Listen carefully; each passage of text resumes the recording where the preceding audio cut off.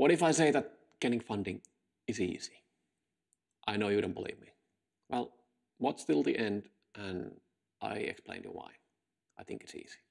Before going there, let's do a bit of a checkup, if you will, about the state of your company and your funding plan. What is your business? What are you doing? Are you passionate about your business? Are you really jumping out of the bed in the morning to solve some issues, some troubles, some pain points for some target market, some, some group of people who you really care about?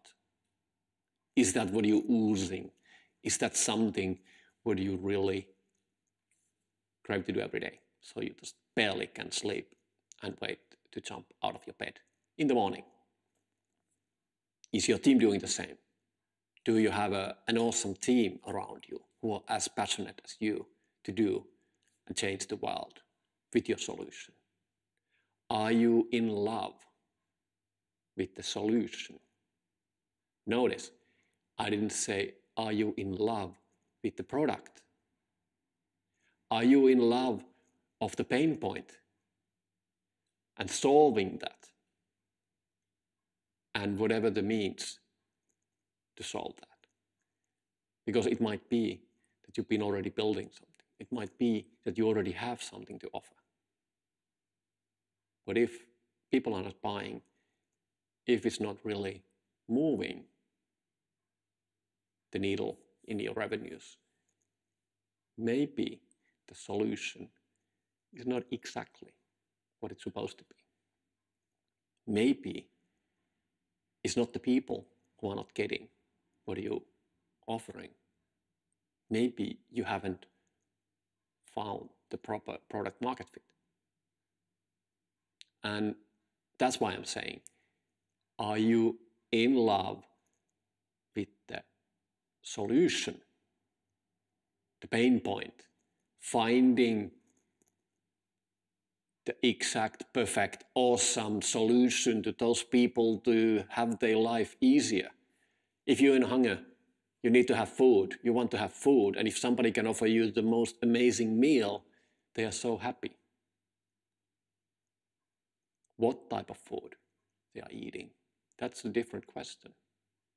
But oftentimes, when you're building a company, you focus on that type of food or what's happening in the kitchen or how awesome techniques or equipment you have in the kitchen. But when you're in hunger, when you need food, or you're just looking for the awesome experience you're having while you're eating the food, is not the kitchen process, which is so interesting. So keep that in mind. Maybe you just haven't found the right customers. Maybe the target market is a bit off. Maybe your business model is not actually reflecting where you are at this point. Maybe your revenue model is not in place yet. Maybe you're in a stage that it doesn't need to be in place. That's okay as well. How about your cap table?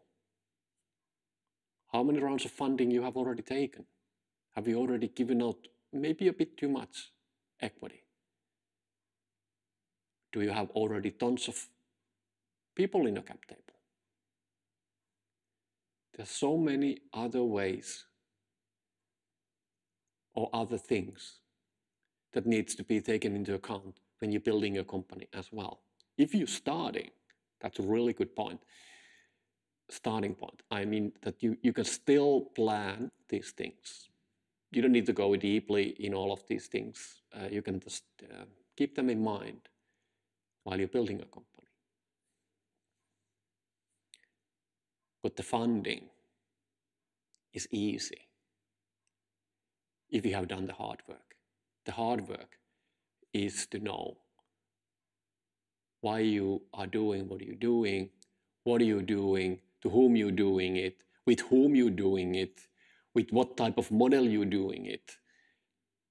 All these things need to be in place before you start to talk about the funding round pricing, valuations, all these things. These are sort of technical things.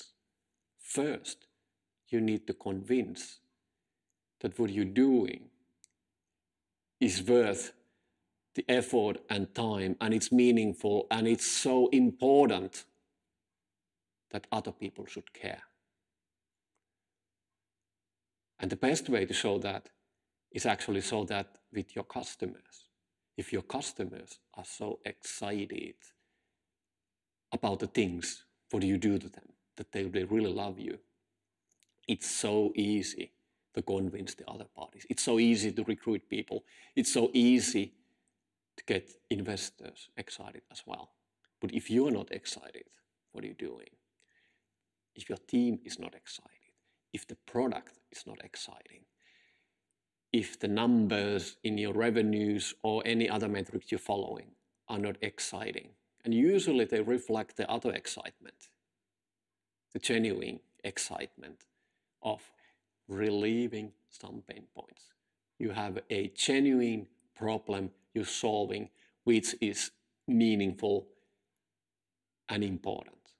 So it's not just like a fun feature, but it's actually a real pain point. These are the things which may make your funding lack. It's not the deck, it's not the story, it's not the sales pitch. If you're passionate, you stumble with your words, you mumble the numbers, or you hesitate with your pitch, but you're passionate and you have a compelling story. Those will compensate. Those will win hearts and minds. And it's okay.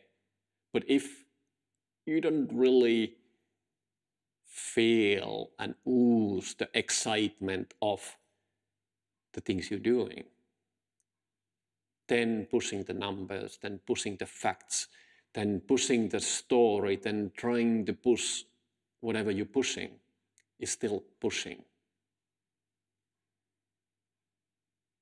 And that's the problem. So the reason I said funding is easy, it is easy, but only when all the other stuff has been done. And that's the hard part. It's easy to fix the Excel when you know how to put the numbers in there. The sale projections are easy when you know what type of parameters to put in there. It's easy to plan the product when you know what the people need, what are the most urgent things to put in place. It's easy to put employment numbers, employee numbers, your costs into that Excel when you know what you're going to do. But it's so hard when you don't have an idea. Same thing with your deck. It's so easy to make a nice, be beautiful pitch when you already know what are you're going to say. And it's so hard when you are having that foggy feeling that I need to push it, I need to put it in there, but I don't exactly know, or this doesn't really feel right. So this is my message. It's work, trial and errors, but please don't focus on the technical details. Don't focus on those tiny things. Focus on the big things. Focus on the hard things. Focus on those things which matter. Why should anyone care? Why should you care? Why should your team care? Why are you doing these things? And are you doing them in the right thing, right way? Till next time. There are some things which are relatively easy to fix but those are the things, for example, I get often asked, please, can you come in and check the deck? Can you check my sales pitch? Can you do this or that? Well, those are easy things to fix. I know it takes time and you know a lot of hours probably.